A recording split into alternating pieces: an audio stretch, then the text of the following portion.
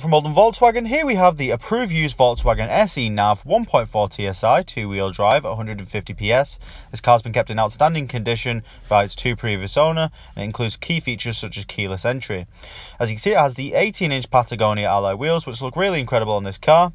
We have the electric wing mirrors that fold in when locked to provide safety for the vehicle, just ensuring it don't get damaged in any way. It does come with the sleek rear privacy glass giving the rear passenger some privacy uh, and as you can see, the paintwork of the Atlantic blue looks incredible. Now, opening up the boot, uh, you can see we can access a very spacious boot size that we can fit stuff like suitcases inside. And if we do require any additional height for any reason, we do have um, some additional storage space below where we can also store a spare wheel as well. And you can also drop down your back seats if you need any additional space. Uh, this could be for longer items such as golf clubs, uh, and then coming into the car, you can see the stunning titanium black interior upholstery looks incredible um, and it's been kept in great condition. In the centre console, we have the armrest that lifts up to become a storage compartment to put stuff like face masks inside.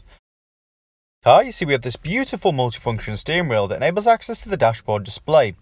Now to the right of this, you can see we have the controls for the automatic headlights, and then we have the central locking on the driver's door as well, ensuring a little bit of safety on your drive. The push start button, we do gain access to this car's fantastic features as all the displays begin to activate.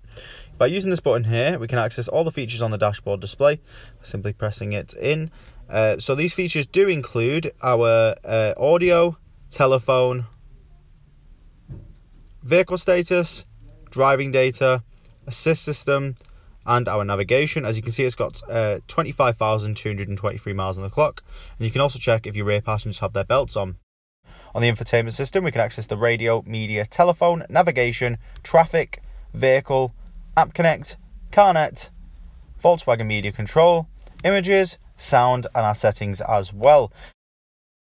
To App Connect, you can see we have the functionality for the Android Auto, Apple CarPlay and MirrorLink, allowing us to display our phone through the car to access key information such as our messages, or whilst we drive without the need to touch our phones.